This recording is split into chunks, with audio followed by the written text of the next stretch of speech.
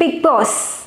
ലോകമെമ്പാടും ഒരുപാട് ആരാധകരുള്ള ഒരു റിയൽ റിയാലിറ്റി ഷോ ആരാധകരോടൊപ്പം തന്നെ ഹേറ്റേഴ്സും ഉള്ളൊരു ഷോയാണ് ബിഗ് ബോസ് വളരെ മോശം ആണ് സ്ക്രിപ്റ്റഡ് ആണ് കാണരുത് എന്നൊക്കെ പറയുന്ന ഒരു വിഭാഗം ജനങ്ങളുണ്ട്. അതുപോലെ തന്നെ അടിപൊളിയാണ് സൂപ്പറാണ് റിയൽ റിയൽ റിയാലിറ്റി ആണെന്നൊക്കെ പറയുന്ന ഒരുപാട് ആളുകളുമുണ്ട് അപ്പോൾ ഒരുപാട് ഭാഷകൾ അതായത് തമിഴ് തെലുങ്ക് ഹിന്ദി മലയാളത്തിലൊക്കെ ബിഗ് ബോസ് ഉണ്ട്. മലയാളത്തിൽ ഇപ്പോൾ ബിഗ് ബോസ് സീസൺ ഫോർ ആണ് നടന്നുകൊണ്ടിരിക്കുന്നത്. നെക്സ്റ്റ് വീക്ക് ഏകദേശം ഫിനാലെ ഉണ്ടാവും. അപ്പോൾ ബിഗ് ബോസിനെ പറ്റി നമ്മളിപ്പോൾ പറയാൻ വന്നൊരു കാരണം നമ്മൾ ഒരുപാട് പേര് ബിഗ് ബോസിലെ കണ്ടസ്റ്റൻസിനെയൊക്കെ ആരാധിക്കുന്ന ഒരുപാട് ജനങ്ങളുണ്ട് അല്ലേ? അപ്പോൾ ഈ ആരാധന നല്ലതാണ് പക്ഷെ അത് പരിധി വിടുമ്പോൾ ഒരുപാട് പേർക്കത് പ്രശ്നമാകുന്നുണ്ട്.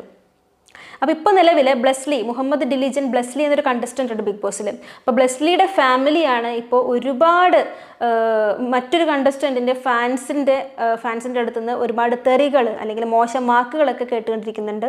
അപ്പോൾ ഇപ്പോൾ പോലീസ് കേസ് വരെയും ആയി. എന്നുള്ളൊരു ഘട്ടം വരെ എത്തിയിരിക്കുകയാണ്. അപ്പോൾ ഇതിന്റെ ഒരു റീസൺ എന്താണെന്ന് വെച്ചാൽ ബിഗ് ബോസിലെടുത്ത രണ്ട് കണ്ടസ്റ്റന്റ് ആണ് ഈ ബ്ലസ്ലി അതുപോലെ തന്നെ ദിൽഷ.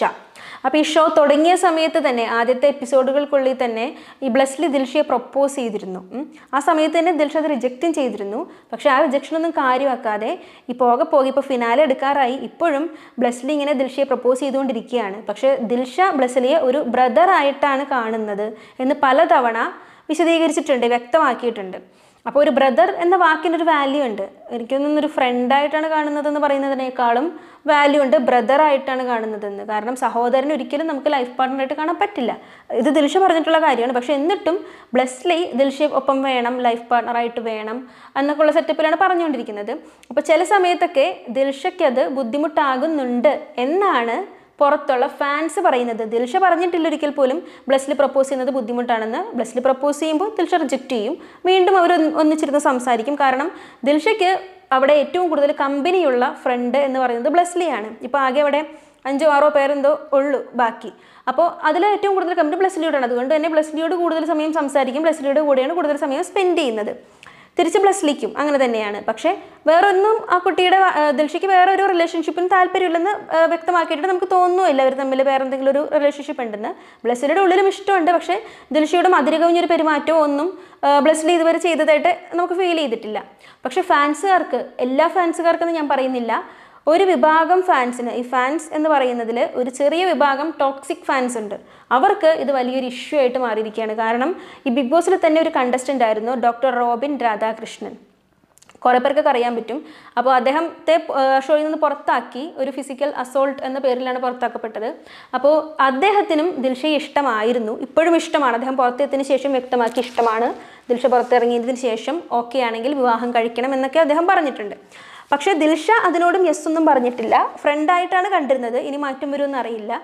പക്ഷേ ആരാധകർക്ക് അതായത് റോബിന്റെ ആരാധകർക്കും അതുപോലെ ദിൽഷയുടെയും കുറേ ആരാധകർക്കൊക്കെ ഇവരൊന്നിക്കണമെന്നാണ് ആഗ്രഹം. അത് ആഗ്രഹിച്ചോട്ടെ നമുക്ക് ആഗ്രഹിക്കാം. പക്ഷേ ബ്ലെസ്ലി പ്രപ്പോസ് ചെയ്യുമ്പോൾ അത് ഇവർക്ക് ഭയങ്കര ഇഷ്യൂ ആവുകയാണ്. ആക്ക് റോബിനല്ല ഇഷ്യൂ റോബിന്റെ ഫാൻസിന്. എല്ലാ ഫാൻസിനും അല്ല ഒരു ചെറിയ വിഭാഗത്തിന്.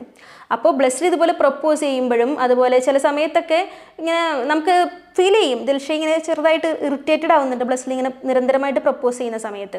പക്ഷേ ദിൽഷ ഒരിക്കൽ പോലും ഇറിറ്റേറ്റഡ് ആയിട്ടുണ്ടെങ്കിൽ പോലും ദിൽഷ ബ്ലസ്സിലെ നെഗറ്റീവായിട്ടൊന്നും പറഞ്ഞിട്ടില്ല. തൊട്ടടുത്ത ഇതിൽ തന്നെ ദിൽഷ ഓക്കെ പാച്ചപ്പ് എന്നുള്ള രീതിയിലാണ് കമ്പനിയായിട്ട് തന്നെ പോകുന്നത്. പക്ഷെ ഫാൻസിന് ബ്ലസ്ലി ഇങ്ങനെ പ്രപ്പോസ് ചെയ്യുന്നത് തീരെ ഇഷ്ടപ്പെടുന്നില്ല. ഓക്കെ അപ്പോൾ ഇതിന് ബ്ലസ്ലിയെ കുറ്റം പറയുന്നതിനോടൊപ്പം തന്നെ ബ്ലസ്ലിയെ കുറ്റം പറയാം പക്ഷേ ബ്ലസ്ലിയുടെ ഫാമിലിനെയും ഇവർ കുറ്റം പറയുന്നുണ്ട്. അതായത് ബ്ലസ്ലി ഒരു ഞരമ്പനാണ്. അതുകൊണ്ട് തന്നെ ബ്ലസ്ലിയുടെ അനിയത്തി ആ കുട്ടിയും ഞരമ്പത്തി ആയിരിക്കും എന്നുള്ള രീതിയിലൊക്കെ ഈ രീതിയിലുള്ള പലതരം മോശം കമന്റുകളൊക്കെ പറഞ്ഞു ഈ ബ്ലസ്സിലേക്ക് ഒരു സിസ്റ്റർ ഉണ്ട് ആ കുട്ടിയെ. ഞാൻ സുനേന ഞാൻ ഞാൻ ബ്ലസ്ലിയുടെ അനിയത്തിയാണ്. നിങ്ങൾ ബ്ലസ്ലിയെ എന്ത് വേണേലും പറഞ്ഞു. ബ്ലസ്ലിയെ നിങ്ങൾ എന്ത് വേണേലും പറഞ്ഞു. അത് ഞാൻ ഒന്നും പറയില്ല. പകരം എന്നെയും എന്റെ അമ്മയെയും എന്റെ അച്ഛനെയും നിങ്ങൾ വിളിക്കുന്നത് എനിക്ക് കേട്ടോണ്ട് നിൽക്കാൻ പറ്റില്ല. ഞാൻ പ്രതികരിക്കും. കൺട്രോൾ വിട്ട് ഞാൻ പ്രതികരിക്കും. ഈ തെറി കണ്ടിട്ട് എന്റെ അമ്മ അവിടെ കിടന്ന് കരയുമായിരുന്നു ഇപ്പോൾ ബിഗ് ബോസ് ആയാലും അല്ലെങ്കിൽ സിനിമയായാലും മറ്റേതെങ്കിലും റിയാലിറ്റി ഷോ ആയാലും നമുക്കതിലെ കണ്ടസ്റ്റൻസിനോട് ആരാധന തോന്നും അല്ലേ? ഇപ്പം നമുക്ക് സ്വാഭാവികമായിട്ട് നമുക്ക് ഫേവറേറ്റ്സ് ആയവരുണ്ടാകാം. ഇഷ്ടമല്ലാത്തവരുണ്ടാകാം. അപ്പോൾ ചിലപ്പോൾ നമ്മൾ അവരെ ജയിപ്പിക്കാൻ വേണ്ടി ഇഷ്ടമല്ലാത്തവർ അങ്ങനെ ചെയ്തു ഇങ്ങനെ ചെയ്തു അതൊക്കെ പറയാം. അതൊക്കെ സ്വാഭാവികം. അതൊക്കെ പാർട്ട് ഓഫ് ദ ഗെയിമാണ് പക്ഷേ അവരുടെ ഫാമിലിനെ തെറി വിളിക്കുക ഫാമിലിനെ ചീത്ത വിളിക്കുക എന്നൊക്കെ ചെയ്യുന്നത് തീരെ നിലവാരം കുറഞ്ഞ കാര്യമാണ്. നിലവാരം കുറഞ്ഞ മാത്രമല്ല അങ്ങനെ ചെയ്യാൻ പാടില്ല. പ്രത്യേകിച്ചും ഒരു പെൺകുട്ടിയൊക്കെ ഞരമ്പത്തിയാണെന്നൊക്കെ പറയുന്നതൊക്കെ ഭയങ്കര മോശമാണ്. അപ്പോൾ ബ്ലസ്ലിയുടെ സിസ്റ്ററും ബ്ലസ്ലിയുടെ ബ്രദറും ചേർന്നിട്ട് അത് കേസ് കൊടുത്തു എന്നൊക്കെയാണ് അവർ തന്നെ ലൈവിൽ വന്ന് പറഞ്ഞത്. ഈ ഞരമ്പത്തി എന്ന് വിളിച്ചെന്നൊക്കെ ഈ കുട്ടി തന്നെ ലൈവിൽ വന്ന് പറഞ്ഞിട്ടുള്ള കാര്യമാണ്. അതുപോലെ ബ്ലസ്ലിയുടെ സിസ്റ്റർ പറയുന്നുണ്ട് ബ്ലസ്ലിനെ നിങ്ങൾ എന്ത് വേണമെങ്കിലും പറഞ്ഞോളൂ. ബ്ലസ്ലി ചെയ്യുന്ന കാര്യങ്ങൾക്ക് ബ്ലസ്ലിന് എന്ത് വേണമെങ്കിലും പറഞ്ഞോളൂ. പക്ഷേ വീട്ടുകാരെ പറയരുത്. ആ കുട്ടിയുടെ ഉമ്മ ഉമ്മയൊക്കെ ഒരുപാട് കരഞ്ഞു എന്ന് പറഞ്ഞു. ഈ ഇതൊക്കെ കണ്ടിട്ട് ഈ നെഗറ്റീവ്സ് ഈ ബാഡ് കമൻസ് കണ്ടിട്ട് ആ കുട്ടിയുടെ ഉമ്മ കരഞ്ഞു. ഉമ്മ കരഞ്ഞപ്പോൾ ഈ കുട്ടി റിയാക്ട് ചെയ്തു. അപ്പോൾ ഈ കുട്ടി പറയുന്നത് ഇങ്ങനെ വീട്ടിലിരിക്കുന്ന പാരൻസിനെ കൂടി വിഷമിപ്പിക്കുന്ന രീതിയിൽ ഒക്കെ ഇങ്ങനെ കമന്റ് ചെയ്യരുത്. ഫാമിലീനെ ഫാമിലിനെ അതിലേക്ക് വലിച്ചഴക്കരുത് എന്നാണ് പറയുന്നത്. അത് വളരെ ഒരു എന്താ പറയുക അത്യാവശ്യ കാര്യം തന്നെയാണ് എന്നായിട്ടാണ് തോന്നുന്നത്. കാരണം ഒരു റിയാലിറ്റി ഷോ അല്ലെങ്കിൽ ഒരു സിനിമ അല്ലെങ്കിൽ അങ്ങനെയുള്ള കാര്യങ്ങളൊക്കെ നമ്മുടെ മീഡിയയിൽ വരുന്ന കാര്യങ്ങൾക്കൊക്കെ കുടുംബക്കാരെ പോയി പറഞ്ഞിട്ടൊരു കാര്യമില്ല. അത് അവർ തമ്മിലുള്ളത് അവർ തമ്മിൽ തീർക്കണം. ഇപ്പം തന്നെ ബ്ലസ്ലി ഇങ്ങനെ ഒരു ഇഷ്യൂ ഉണ്ടാക്കുന്ന അല്ലെങ്കിൽ ബ്ലസ്ലി ഇങ്ങനെ പ്രപ്പോസ് ചെയ്യുന്നതിൽ ദിൽഷ ഒന്നും പറഞ്ഞിട്ടില്ല. ദിൽഷയുടെ വീട്ടുകാരും അതിന് കാര്യമായിട്ടൊരു പ്രതികരണവും ചെയ്തിട്ടില്ല.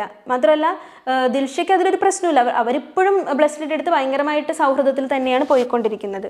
ഇനി റോബിൻ അതായത് റോബിനെ ദിൽഷ ഇഷ്ടമാണെന്നുള്ളതാണല്ലോ ഒരു റീസൺ റോബിൻ ഇതുവരെ ബ്ലസ്ലീനെ അങ്ങനെ ചെയ്യണം. ബ്ലസ്ലിനെ ഒരു രീതിയിലും റോബിൻ ബ്ലസ്ലിക്കെതിരെ ഒന്നും തന്നെ പറഞ്ഞിട്ടില്ല. അപ്പോൾ പ്രശ്നം മുഴുവനും ഫാൻസിനാണ്.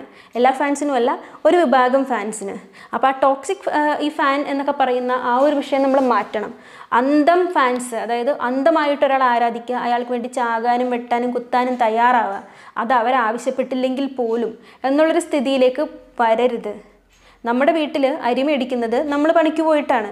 അല്ലാതെ നമ്മൾ ആരാധിക്കുന്ന ആൾക്കാരൊന്നും നമുക്ക് അരി മേടിച്ച് തരില്ല. കൊടുക്കുന്നവരുണ്ടാകാം എവിടെയെങ്കിലുമൊക്കെ. എന്തായാലും ഇപ്പോൾ ബ്ലസ്ലിയും റോബിനും ദിൽഷയൊന്നും ആർക്കും അരി സപ്ലൈ ഒന്നും ചെയ്തിട്ടില്ലെന്നാണ് എന്റെ ഒരു അറിവ്. അപ്പോൾ ആൾ അവർക്ക് വേണ്ടി ഇങ്ങനെ സ്വന്തം നിലവാരം കളയാതിരിക്കുക. ഇപ്പോൾ തന്നെ റോബിൻ അല്ലെങ്കിൽ ജാസ്മിൻ അങ്ങനെ രണ്ട് കണ്ടസ്റ്റൻസ് ഉണ്ടായിരുന്നു. ജാസ്മിൻ എം മൂസ എന്ന് പറഞ്ഞൊരു കണ്ടസ്റ്റന്റ് ആയിരുന്നു രണ്ടുപേരും ഭയങ്കര ഫൈറ്റായിരുന്നു ഈ ബിഗ് ബോസിൽ കീരിയും പാമ്പും പോലെ എപ്പോഴും ഫൈറ്റ് അതും ഭയങ്കരമായിട്ട് അതിര് കടന്നൊരു ഫൈറ്റൊക്കെ ആയിരുന്നു ഇവർ തമ്മിൽ അതിന്റെയൊക്കെ ഫലമായിട്ടാണ് ജാസ്മിൻ ക്വിറ്റ് ചെയ്ത് പോന്നു. റോബിൻ പുറത്താക്കപ്പെട്ടു. ഇത്രയും അടിപിടികളുണ്ട്. ഇവർ പുറത്തിറങ്ങിയതിന് ശേഷവും ഇവർ ഇതുപോലെ ചെറിയ രീതിയിൽ അതായത് റോബിൻ റിയാക്ട് ഒന്നും ചെയ്തിട്ടില്ലെങ്കിൽ പോലും ജാസ്മിൻ ഭയങ്കരമായിട്ട് റോബിൻ അഗെയിൻസ്റ്റ് ആയിട്ട് തന്നെയാണ് നിന്നിരുന്നത്. പക്ഷേ ഈ കുറച്ച് ദിവസം മുന്നേ ഒരു രണ്ട് ദിവസം മുന്നേ ഇവർ ഫ്രണ്ട്സായി റോബിന്റെ ബെസ്റ്റ് ഫ്രണ്ട് ഇപ്പോൾ ജാസ്മിൻ ആണ് ജാസ്മിന്റെ ബെസ്റ്റ് ഫ്രണ്ട് ഇപ്പോൾ റോബിനാണ്. ഇവർ ഹഗ് ചെയ്യുന്നു. ഇവർ ഒരുമിച്ച് നിൽക്കുന്ന ഫോട്ടോസും വീഡിയോസ് ഒക്കെ വൈറലാണ് യൂട്യൂബിൽ അപ്പോൾ അത്രേ ഉള്ളൂ. അതായത് ഗെയിമിന്റെ ഉള്ളിൽ ഗെയിം അത് അവർ അവർ ആ ഒരു അവരുടെ ഗെയിമാണ് അവർ കളിക്കുന്നത്. അത് ഫൈറ്റ് ആയാലും ലവ് ആയാലും എന്തായാലും അത് റിയൽ ആവാം എന്താകാം. പക്ഷെ പുറത്തിറങ്ങിക്കഴിഞ്ഞാൽ അവരത് മറന്നു. അവർ അവരുടെ ലൈഫിൽ പോയി. അവരുടെ പ്രശ്നങ്ങൾ അവർ തീർത്തു. അപ്പോൾ അത്രയും നാൾ അവർക്ക് വേണ്ടി അടിപിടിച്ചിരുന്ന ഫാൻസ് ആരായി? ശശികളായി. അപ്പോൾ ശശികളാകാതിരിക്കുക അതുപോലെ തന്നെ ഈ ഫാമിലിനെ കയറി അറ്റാക്ക് ചെയ്യാതിരിക്കുക. അതായത് ഓരോ കണ്ടസ്റ്റന്റ് എന്തെങ്കിലും ചെയ്യുന്നതെന്ന് കരുതി നമ്മളവരെ ഫാമിലിനെ സൈബർ അറ്റാക്ക് ചെയ്തിട്ട് ഒരു കാര്യമില്ല കാരണം ബിഗ് ബോസ് എന്നൊരു ഷോ സ്ക്രിപ്റ്റഡ് അല്ല എന്നാണ് അതിൽ നിന്നിറങ്ങിയ പലരും പറയുന്നത്. നമുക്കിപ്പോഴും അറിയില്ല അത് സ്ക്രിപ്റ്റഡ് ആണോ എന്നൊന്നും. പക്ഷെ എന്താണെങ്കിലും അതിൽ അവർ ചെയ്യുന്നതിന് പുറത്തിരിക്കുന്ന ഫാമിലിക്ക് ഒന്നും ചെയ്യാനില്ല. ഇനി പുറത്തിരിക്കുന്നവർ ഇട ബ്ലസ്ലി നീ ദിൽഷനെ പ്രപ്പോസ് ചെയ്യലിട എന്ന് പറഞ്ഞാലും അത് ബ്ലസ്ലിയുടെ കാര്യമാണ്. ആരെ പ്രപ്പോസ് ചെയ്യണം? ആരുടെ കൂടെ കമ്പനി ഇടിച്ച് നടക്കണം? ആരെ പ്രൊവോക്ക് ചെയ്യണം? എന്നതൊക്കെ ബ്ലസ്ലിനെ സംബന്ധിക്കുന്ന കാര്യങ്ങളാണ്. അതായത് നമുക്ക് ബ്ലസ്ലിനെ പറയാം. നമ്മുടെ മാന്യമായ രീതിയിൽ നമുക്ക് ബ്ലസ്ലിനെ കുറ്റം പറയാം. പക്ഷേ വീട്ടിലിരിക്കുന്ന സ്ത്രീകളെയൊക്കെ അതിലിട്ട് വലിച്ചഴിച്ചു കഴിഞ്ഞാൽ ഭാവിയിൽ വലിയ പ്രശ്നമാകും. ഇതൊക്കെ പോലീസ് കേസ് ആയാലും നിങ്ങൾ രക്ഷിക്കാൻ നിങ്ങൾ ആരാധിക്കുന്ന ഈ ആൾക്കാരൊന്നും വരുമൊന്നുമില്ല ഇപ്പോൾ റോബിനോ ദിൽഷയൊക്കെ ഒന്ന് രക്ഷിക്കുമോ ഒരിക്കലും ഇല്ല. നമ്മൾ തന്നെ അതിന്റെ ബാക്കിയുള്ള വശങ്ങളൊക്കെ സഹിക്കേണ്ടി വരും. അപ്പോൾ അനാവശ്യമായിട്ടുള്ള കാര്യങ്ങളൊക്കെ ചെയ്യാതെ സേഫായിട്ടുള്ള ആരാധന ചെയ്തു പോവുക. അപ്പോൾ നമ്മൾ ബിഗ് ബോസ് സ്ഥിരം കാണാറില്ല. പക്ഷേ യൂട്യൂബിൽ വരുന്നത് അപ്ഡേഷൻസ് നമ്മൾ എടുക്കാറുണ്ട് നമ്മൾ അപ്ഡേറ്റ് ചെയ്യാറുണ്ട്. അപ്പോൾ ഒരു ഫാമിലിക്കെതിരെ ഇങ്ങനെ ഒരു പ്രശ്നം വരുന്നത് ഇപ്പോഴാണ്. ഇത്രയും ഒരു ഭീകരമായിട്ട് ഫാമിലി അറ്റാക്ക് ചെയ്യപ്പെടുന്നത് ഇപ്പോഴാണ്. അപ്പോൾ അതൊരു നല്ല പ്രവണതയായിട്ട് തോന്നിയില്ല. അതുകൊണ്ടാണ് നമ്മളിങ്ങനെ ഒരു വീഡിയോ ചെയ്യാൻ കാരണം. അപ്പോൾ വീണ്ടും പുതിയ വീഡിയോകളുമായിട്ട് വരാം. അതുവരെ ബായ്